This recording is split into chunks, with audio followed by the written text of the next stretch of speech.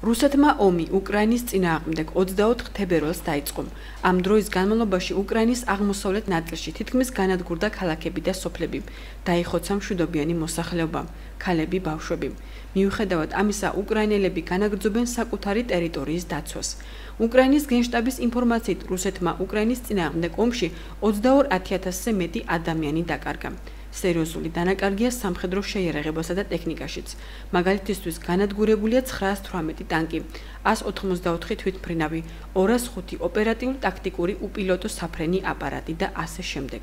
საკუთარი დანაკარგების შესახებ რუსული მხარე თითქმის არ საუბრობს, თუმცა პესკომა ერთად გამოსვლაში აღიარა, რომ რუსეთს უკრაინაში ეგრეთ წოდებული სპეცოპერაციის დროს მნიშვნელოვანი დანაკარგი აქვს. რუსეთი ძალიან ცუდად დამთავრდება. ეხლა არის რომ მე განახლება მოდის, ჩვენი იმედი გვაქვს ყველა ცივილიზებულს. არიან იქ დისიდენტებიც რაღაც მარწუხები არის მათ წინამდე, მაგრამ ახალი რუსეთი იქნება პუტინის გარეშე. პუტინი დამარცხდება მას თლიანად ეკონომიკაც ჩაუვარდება. იმიტომ რომ ომი არის ფუფუნება, ჭალებში რომ თქვა, იმიტომ მას შეიძლება ძალიან ძლიერი ეკონომიკა, რომელიც რუსეთს არ გააჩნია ის რაც რაც გააჩნდა ნავთობი და გაზი ისიც გადაკეტილი გარკვეულწილად საფინანსო წყაროებიც გადაკეტილი ყველანაირი გადაკეტვები აქვს ასე რომ ეს არის მისი ბოლო გაფართხალება.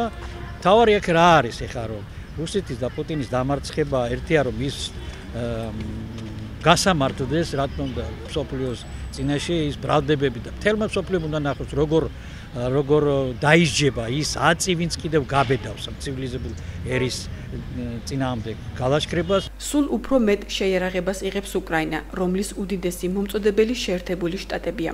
დახმარება გაგრძელდება უკრაინის საბოლოო გამარჯვებამდე.